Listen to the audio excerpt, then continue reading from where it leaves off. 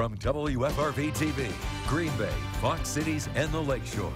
Your stories in our community. This is Local 5 News. When Aquila can check the water themselves, I believe in mining. It gives a lot, feeds a lot of people. it kills a lot of babies. On this Earth Day, emotions ran high regarding a controversial mine known as the Back 40 Project. Good evening, everyone. Thank you for joining us. I'm Shelley Botot. Aquila Resources has secured three of the four permits needed to begin mining for gold, copper, zinc, and silver along the banks of the Menominee River in Michigan. The Canadian-based company wants to dig an 83-acre open-pit sulfide mine within 150 yards of the Menominee River. Opponents worry about the mine polluting the river and damaging sacred burial grounds. People supporting the mine believe it will boost the economy and jobs. Aquila Resources spent the last 10 years working on the mine while putting $70 million into the Back 40 project. However, Local 5's Steve Dent found out anti-mine protesters still question the third permit that regulates water that will go back into the Menominee River during mining operations.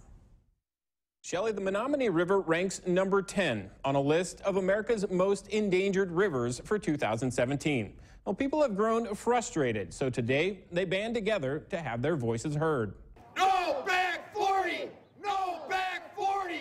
Demonstrators marched from Stevenson Island in Marinette over the Menominee River and into Michigan. What better way to celebrate Earth Day than to protest a mine?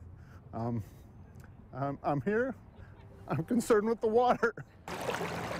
Because the Menominee River flows into Lake Michigan, And we all live downstream. and an open pit sulfide mine has people worried. We cannot let this happen to our people in our area. Please give us a hand and help us stop this mine. This is where the Ogden Club, There have been efforts to raise awareness this is Aquila right here. Now that everybody's mad, now that everybody's aware of it, what are we actually going to do about it? Now the goal is to unite from 72-year-old Menominee resident Ed Smith To stop the mines. to people from Wisconsin and the Menominee tribe. We're all here for maybe different reasons, but at, our end goal is the same: is to protect that river and all of the wildlife that doesn't have a voice. And cyanide does kill. And now we find out that Aquila can check their own water.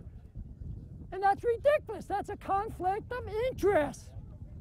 We have to get a hold of our reps and tell them, what is wrong with you people? But the realization has sunk in that this group believes they will get no help from the government. Michigan state government has proven again and again that they don't care about the Upper Peninsula. so it's our job because this river runs like a backbone through our community. Amen. I talked with Steve Casey of the Michigan Department of Environmental Quality. He told me when it comes to treated wastewater that goes back into the river, Aquila will self-monitor and self-report, while the DEQ will audit and perform surprise inspections. Steve Dent, Local 5 News. All right, thank you.